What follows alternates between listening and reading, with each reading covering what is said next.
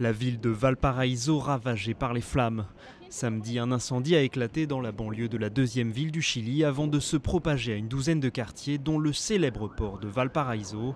500 maisons ont été détruites par les flammes et plus de 3000 personnes ont dû être évacuées. Deux habitants ont perdu la vie. Les pompiers tentent encore de circonscrire le feu qui s'est propagé aux alentours de la ville.